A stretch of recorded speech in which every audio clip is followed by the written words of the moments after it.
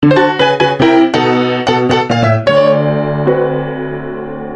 いはいはいはいはい。勝ちましたね、マジで。あの、めちゃ強ない、正直。うん。あの、本当に、なんか、浅野のチームちゃうかなっていうふうに思うし、まあ、グリフィンに関してもね、今日、すごく、まあ、攻め方も上手かったと思いますし、まあ、バッテリーを含めて、非常にいい攻め方ができてたんじゃないかなっていうふうに思います。てな感じで始まりました。小山翔平ベースボールチャンネルです。今日も最後まで見ていってください。よろしくお願いします。はい、今日はですね、先ほど終わりました、えー、スワローズ対ジャイアンツの試合解説の方をやっていきたいなというふうに思ってます。はい、えー、まあ非常にね、えー、接戦ではあったんですが、まあその、勝ちましたというところで、今季最多なんかな？貯金13っていうのは、あ今季最多だと思うんですけど、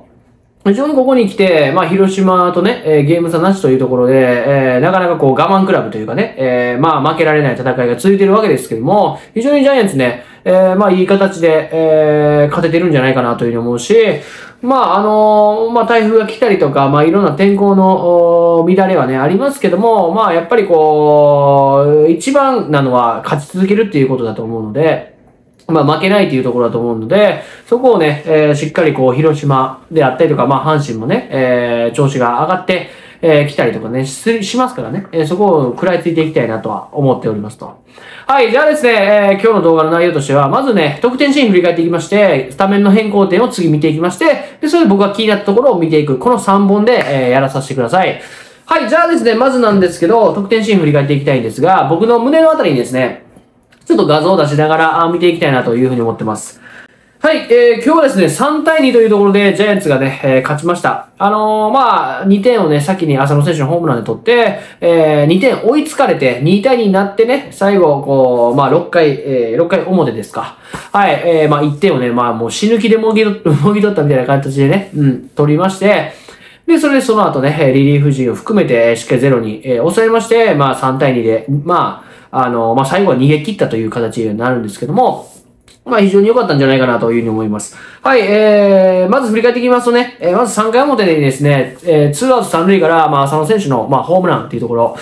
まああの、後で詳しく言いますけども、まあ前の打席でやられたボールをね、しっかり見逃して、うん、ストライクからボールになるボールをしっかり見逃して、最後甘く入ってきた変化球を捉えたというところで、まあ非常にもう、えー、19歳なのかってほんまに、えー思いますし、えー顔だけ見たら、あー30歳ぐらいちゃうかみたいな。まあちょっと、これ、えー、ディスじゃなくて、普通にちょっとあの、まあ冗談なんですけども、まあそれぐらいね、えー、まあベテランというか、あの、まあ貫禄があるというかね、えー、まあそういった雰囲気を持ってる選手なんじゃないかなって思いますと。はい。で、4回ぐらいですね。まあ、あの、ワンアウト一塁から増田選手のツーベース。まあ、これ低めうまく打ちました。はい。非常にナイスバッティングになったと思います。で、えー、ツーアウト二塁から、これサイスニールがね、これレフトオーバー打つと。うん、まあ、誰も予想しなかったと思うんですけど、まあ、サイスニール自体もね、えー自分で打てるとは思ってなかったかもしれないですけども、非常にちょっとこう、まあ、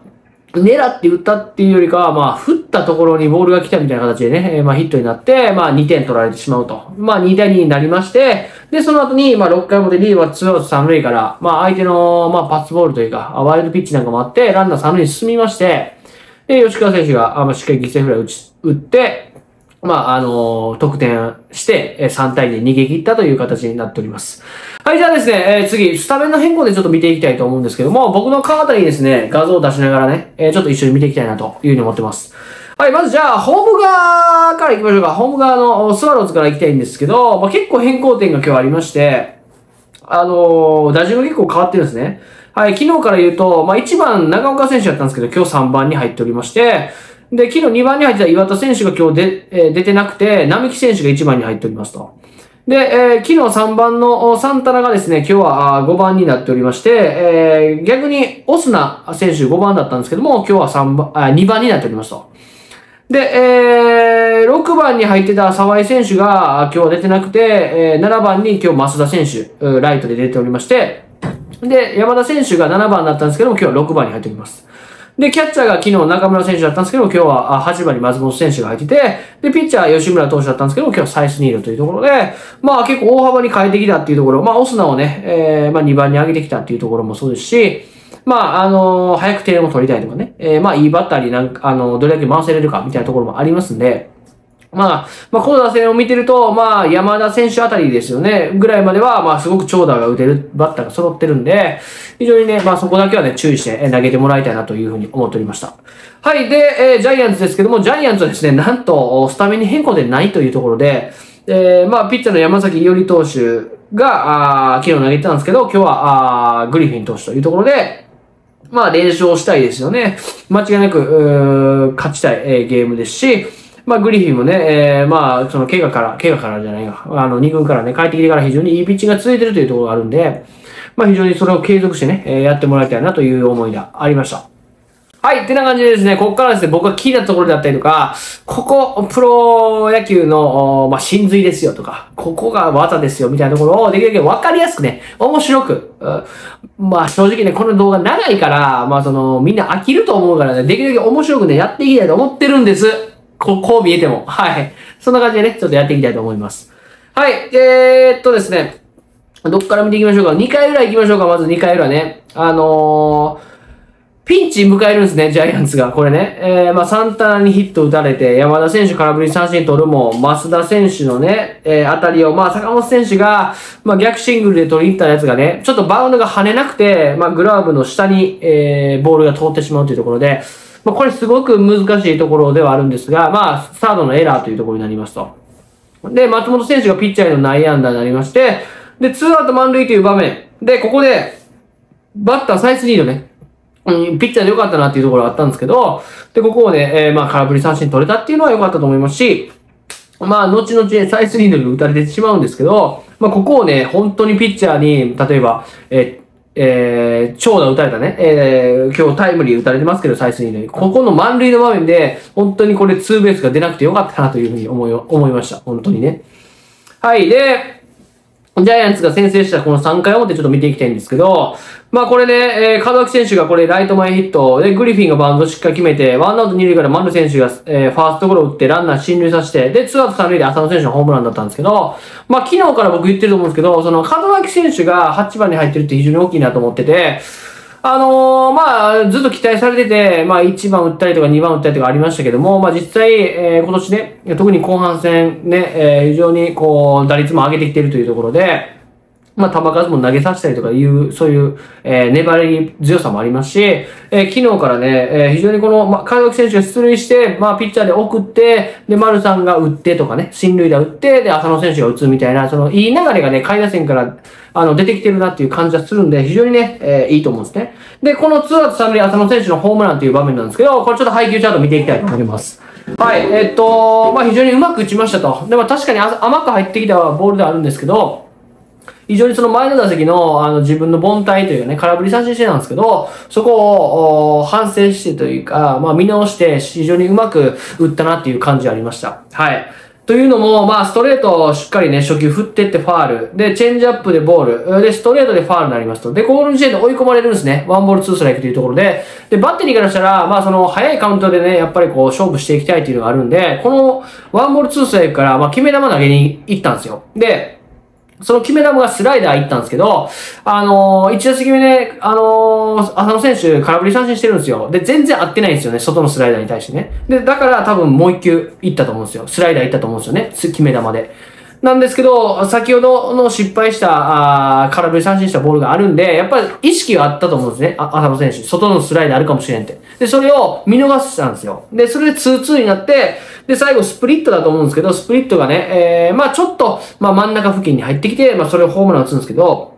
まあこれ、まあ、多少ちょっと甘くなったとはいえね、あの、このワンボールツースライからのスライダーを、まあ1打席目、えー、振って空振り三振したところをしっかりボールを見極めて、えー、バットが止まったっていうところが非常に大きな成長というかね、えー、素晴らしいことだと思うし、でね、その次のボールスプリットを打ってホームラン打つっていうのはもうこれ最高の結果、結果だったんじゃないかなって思うんですね。はい、素晴らしいと思います。浅野のチームやんって 正直ね、えー、現、あの、最近思います、本当に。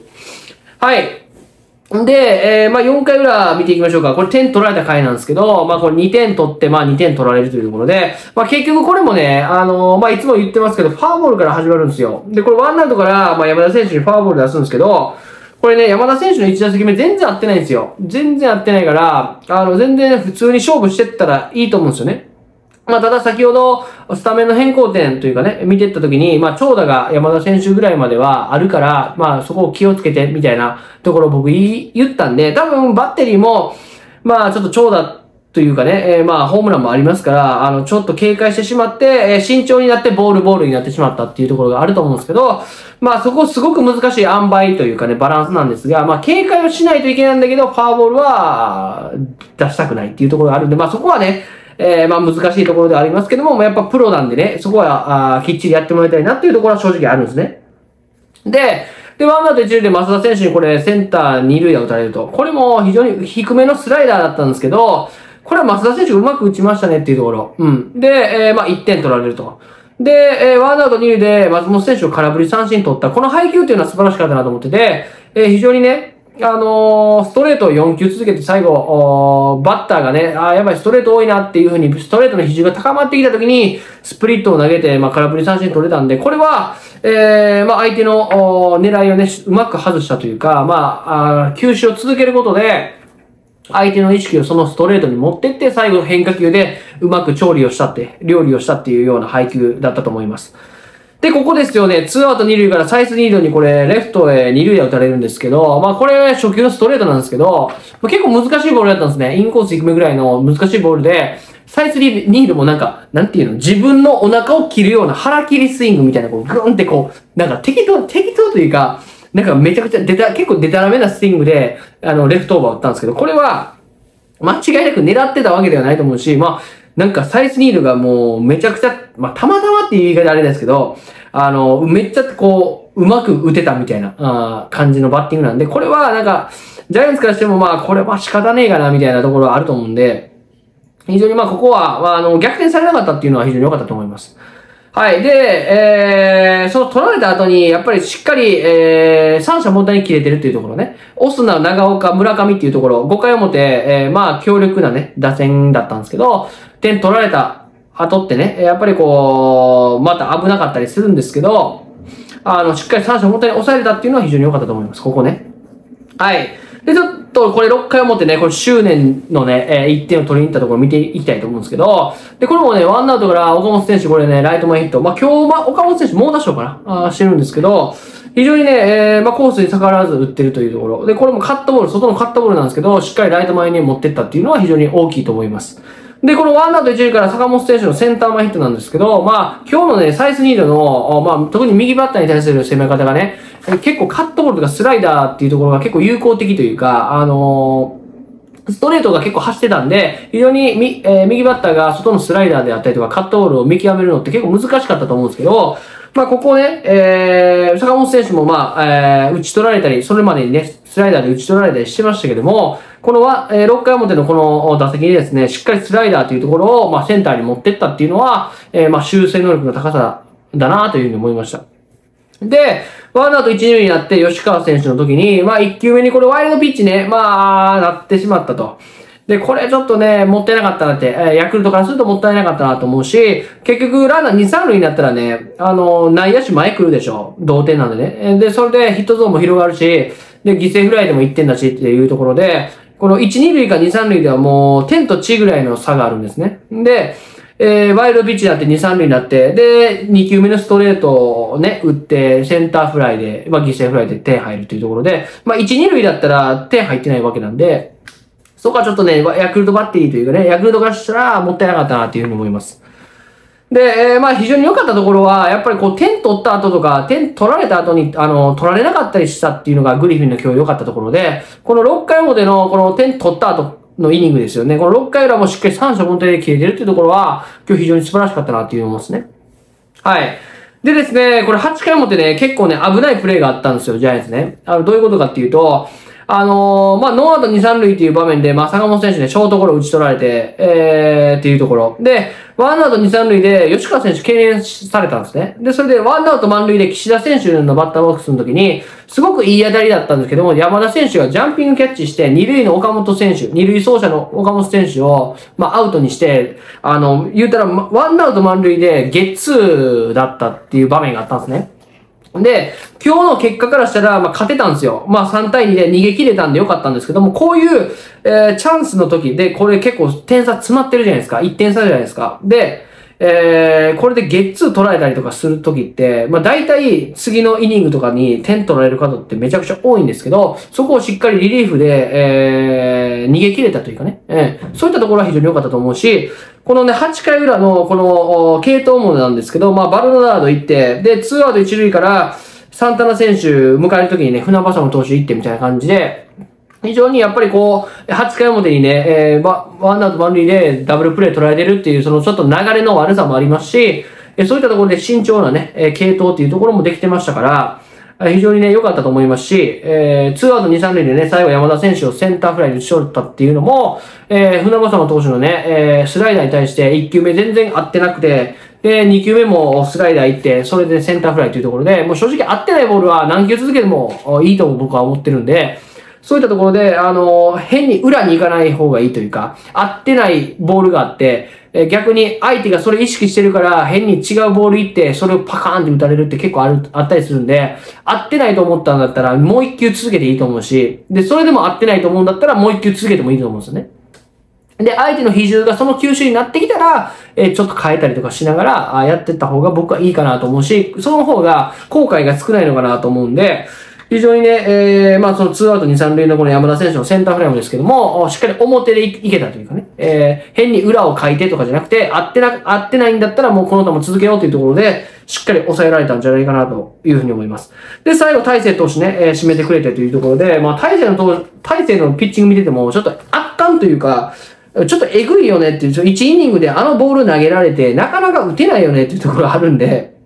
本当に、まあ、怪我、今年多くて、まあ、どうなる、どうやろうみたいな、体勢どうなんて、もう終わりちゃうかって、正直ちょっと僕思ったところありましたけども、やっぱり万全で戻ってきたら、やっぱちょっとね、抜けてるというか、ちょっとレベル違うなっていうところあるんで、本当にそういう守護神がね、最後にいてくれてるっていうのは非常に素晴らしいと思うし、まあ、あ結局その投手がね、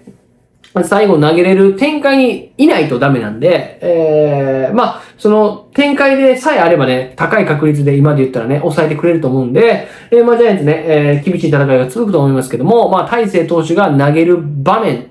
を、ま、しっかり作っていくというか、そういう試合展開に、え、しっかり持っていくってことが、あ大切なんじゃないかなというふうに思います。はい、てな感じでですね、今日、まあ、4連勝かなっていうところで、まあ、あの、広島にね、こう、し